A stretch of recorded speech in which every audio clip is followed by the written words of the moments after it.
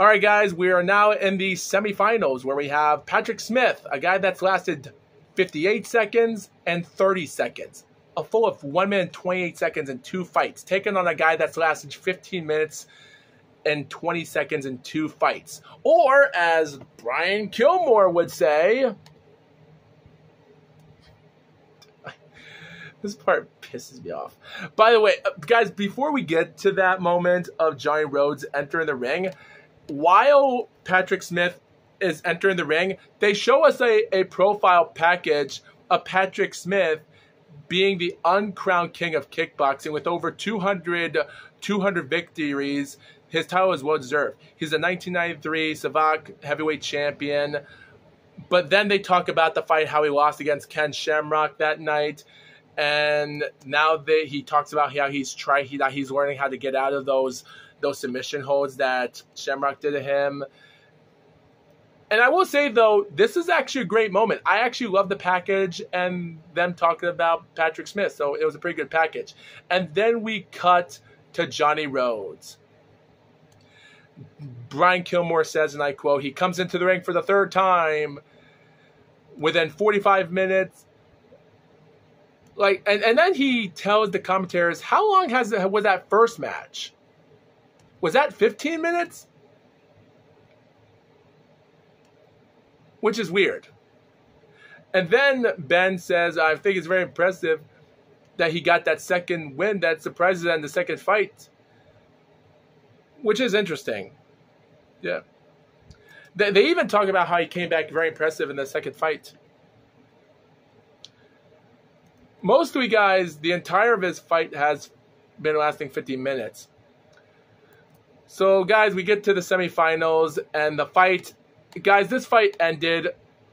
I will say though, I will give credit for Johnny Rhodes. He lasted longer than the other two fights. Patrick Smith, like at, at, at least Johnny Rhodes lasted longer in this fight than the other two fighters. At least he went went a minute into this fight with Patrick Smith. No, I'm kidding. He really did. One minute and seven seconds. That's how long the fight ended it ended by guillotine choke. That, that's about it. That's all I can tell you. The fight started out, they're both dancing each other. We see that amazing um, spin kick because we see Patrick Smith doing a crazy spinning kick, which was pretty awesome. That was that the first. That's the first time in UFC history. Dang!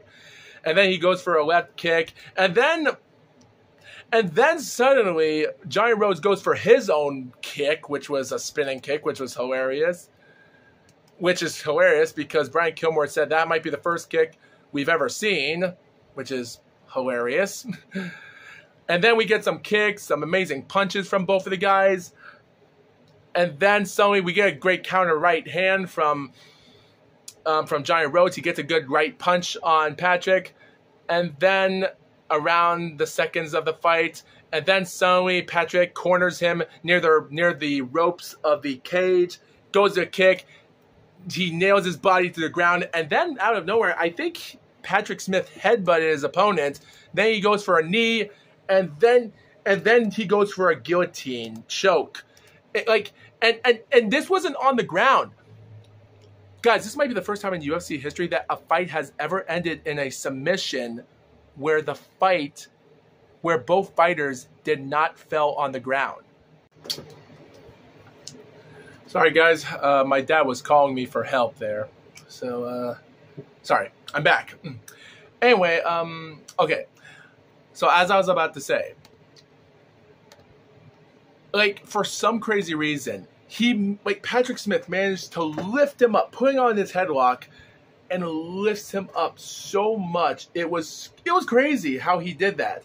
Like I said before, guys, when Amanda Nunes defeating Ronda Rousey by punching her multiple times that ended a fight like it was a boxing fight, even though she was never knocked down or no one was on the ground. This is the first time in history of a UFC fight that no one has ever fell to the ground or ended by submission. This fight ended by submission with both of the guys standing up when the fight was over. He he locks him up to choke him out by lifting him up. Like, it was crazy.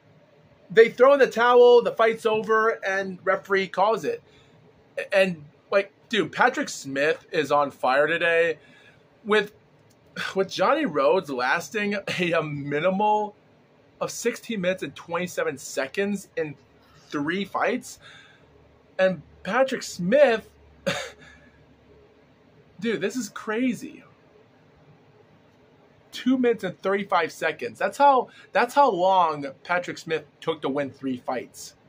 That's pretty good. Of course, everything won't go that so easy because you think to yourself, Patrick Smith has an easy win.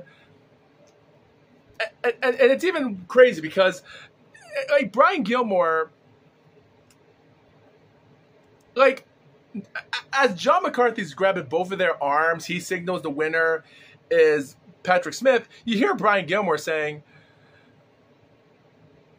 like, like, Brian Kilmore, like, what the hell, man? Smith wins in 45 seconds, which he said, but in Wikipedia it says one minute seven seconds, and I kind of agree with that. Smith wins in 45 seconds. He he wins in 45 seconds against a man that fought over 25 minutes tonight.